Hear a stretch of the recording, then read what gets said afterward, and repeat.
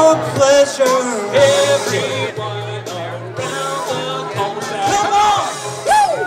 This all began, as we know, with ABC4 and Oprah's Big Give. And Oprah Winfrey, you know, is doing her thing nationwide in various cities. It came here to Utah, and guess what? The Thills name came up on that big thing that we just spun around, right? No, not really.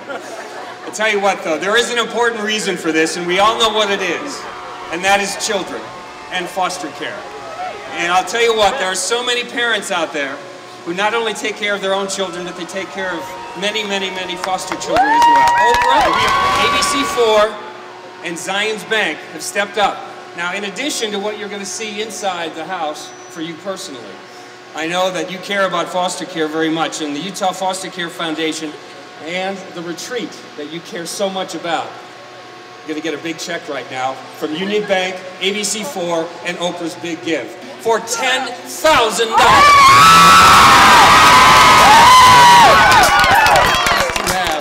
And now they're going to see what this community has done for them inside their house and for their children right now.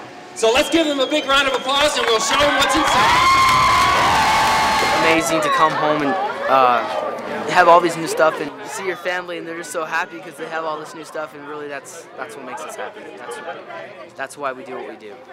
Well, been at the Rockin' R Ranch, just having a fun time, riding horses, oh, just doing everything. They, they told us beforehand, but it was cool knowing, and so when they sent us away, it, it was just weird knowing that someone's in our house working on it, making it nice, not to get anything back, you know? I want to see a new dinner table.